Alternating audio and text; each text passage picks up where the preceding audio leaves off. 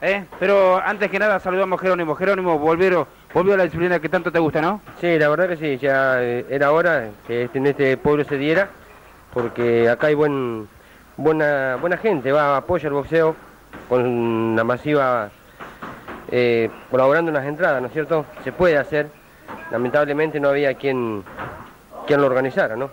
Y bueno, ahora con estos muchachos vamos a ver si, si se puede hacer un festival por mes, para darle continuidad a estos chicos, que hay chicos que tienen condiciones que pueden llegar, ¿viste?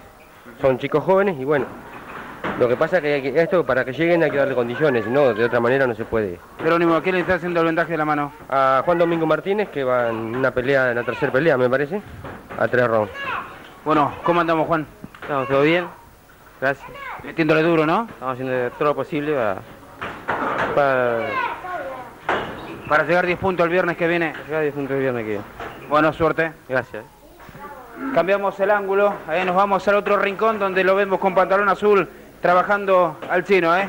Haciendo bolsa, cumpliendo una parte más de, de un día de entrenamiento. ¿Cómo andamos, chino?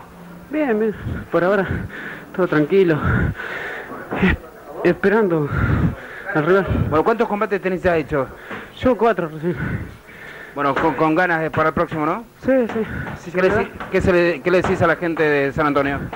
Que participen un poco y, bueno, es- no tengo más nada que decir. ¿Habrá esa entrega total que siempre ha hecho el chino? Sí, sí. Bueno, suerte y a seguir entrenando. Gracias. Bueno, hay que hacer bolsa, dijo el Pedro. Menos mal que andaba, ¿eh?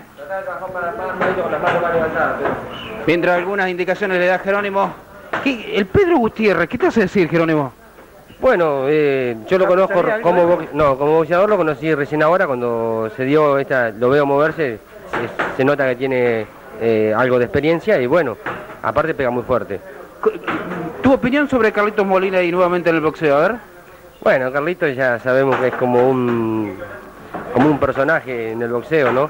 Este, bueno, se siente con ganas de volver y bueno, pero ya creo que tiene que, eh, yo en mi opinión particular, eh, soy de la idea que no, no, no tendría que boxear. ¿Pero qué va a hacer? Esta es una frase que, que me tomo el atrevimiento de hacerlo, cada loco con su tema, ¿no? Por supuesto, sí. Yo, por ejemplo, hace 10 años que dejé el boxeo y dije, cuando me saqué los guantes por última vez que dije no peleo más, no peleé más. ¿Cómo anda Pedro? Pedro Rivero. Pedro bien, bien, bien. El otro día tuvo un accidente, por eso no, no ha podido este, m- entrenar bien ahora estos dos últimos días.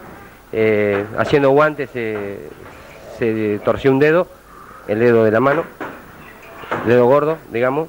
Y bueno, ahora lo estamos esperando, no sé, debe estar trabajando, por algo no ha llegado todavía. Nuevamente el boxeo y con estas imágenes nosotros también hacemos, eh, recordamos un poco a los eh, boxeadores de San Antonio Este. Vuelve el deporte preferido por Desiderio Cayunao, por eh, Carlos Molina que también estará en acción y por supuesto recordarnos de nuestro único profesional que tenemos en esta disciplina deportiva que es Jorge Calfín. ¿eh? Esta es la invitación que le hacemos para el próximo viernes 12 de abril en el gimnasio del Esportivo Ferrocarril y el boxeo nuevamente en San Antonio.